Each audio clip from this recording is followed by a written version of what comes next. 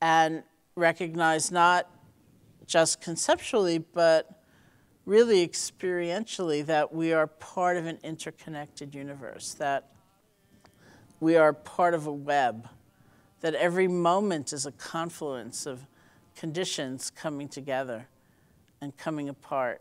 It's like for a few moments now, if you could just reflect on bringing to mind anybody who has had any role in your being here in this room right now.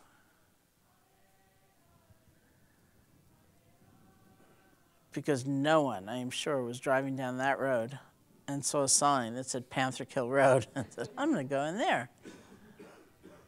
Right? We're all here because of conversations we've had and interactions and somebody gave us a book or read us a poem or told us about this place or told us about their practice or there's so many beings in a way represented here in this moment.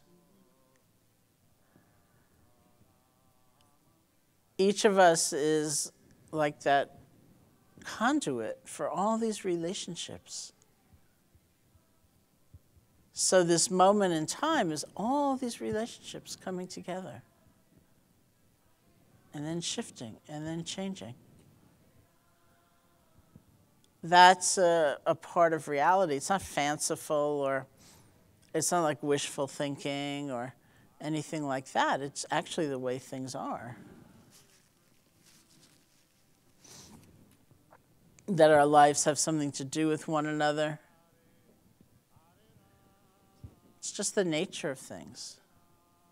That's wisdom, that's insight as Bob was saying yesterday, it doesn't mean you disappear, you know, or that uh, there's some part of you that's been your friend, your companion that's been showing you a good time and then it's gone. Um, we just see more clearly, oh, look at that. It's like there's a way of looking at a tree and seeing it as a tree. It's just standing there, right? It's a thing. It's a, it's a seemingly solid entity. There's another way of looking at the tree and understanding the influence of the nature of the soil, which is nourishing it, and everything that affects the quality of that soil, and like the rainfall, and everything that affects the quality of that rainfall, which we now know is, is pretty vast. So you look at the tree and you also see that it's part of a network of relationships. That's also the tree. So that's interconnection. It's interconnection is emptiness, actually. Not that there is no tree, not that you can't look at it in the old way, oh, it's just a tree standing there, but we can also look at it in a, another, it's like another dimension of what's true and often overlooked. Look at that, all those connections. That's the nature of things.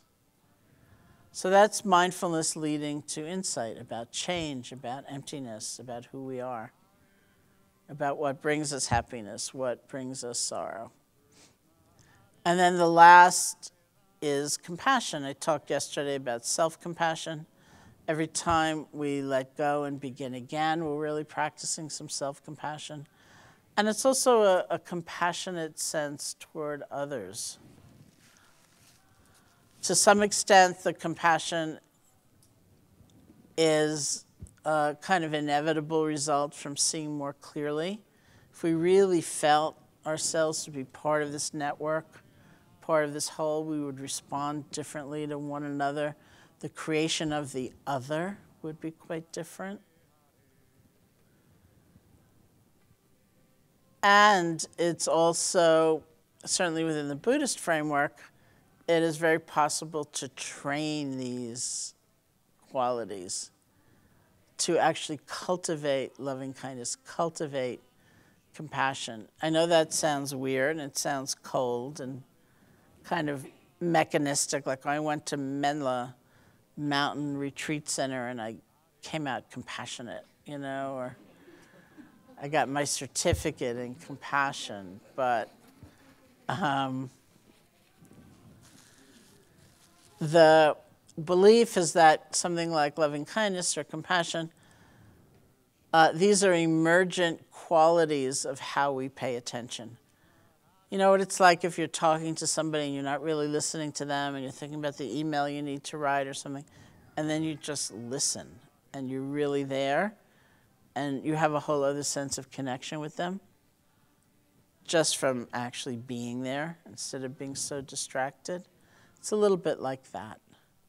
Or maybe we hold a very strong fixed view about ourselves or others, and we manage to drop it for a moment and really listen. How we pay attention, what we pay attention to, really creates the ground that loving kindness and compassion can emerge from. And so here too, it's an attention training. I don't know how many of you have seen one of the um, most fun things I've ever done, uh, which I really only did in some minor way, was um, this site called happify.com made an animation of me telling a story, which I'm about to tell you. And uh, for some reason, every character in the animation is a dog. So you get to see me as a dog, and it's so cute. It's like this dog's mouth moves and my voice comes out telling the story about training compassion. So I highly recommend the animation. Uh, they've just done one with Dan Harris, who's a mouse, and I believe I'm a cat in the next one. I'm not totally sure. They're all on my website too. But um, this is the story. I was talking about. Um, uh, I have. I live in Massachusetts, but I have had over the years various sublets in in New York City, and uh, there was one time I was living in a certain neighborhood, and uh, I had a friend who's a writer who also lived in that neighborhood, and I was reading a manuscript of his. And in the manuscript, he talked about frequently going into the corner grocery store there and very commonly seeing the same person, the same woman working behind the counter. And he said that he realized that even though he goes in there so frequently, he really had very little sense of her, except maybe a very vague kind of fleeting sense that maybe she wasn't that happy or she was a little bit grim or something like that. But mostly it was just indifference, you know, really kind of oblivious to her.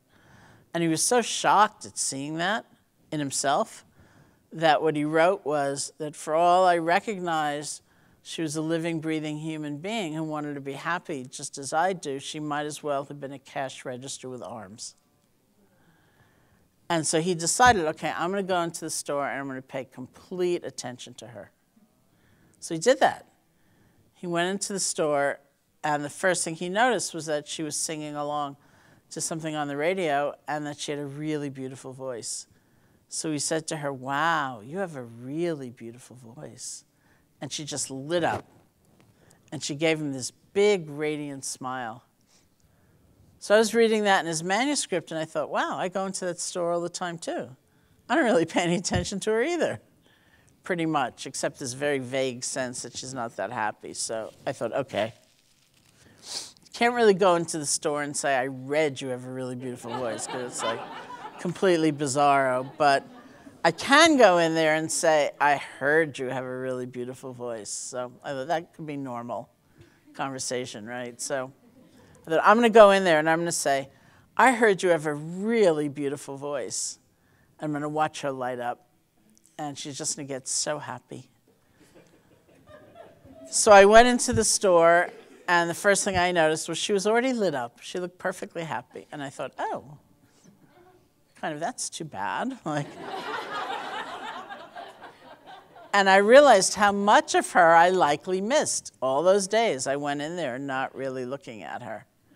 So when we actually pay attention to somebody, it is the conduit for a very natural sense of connection to arise. And we'll keep exploring loving kindness and compassion throughout our our time here.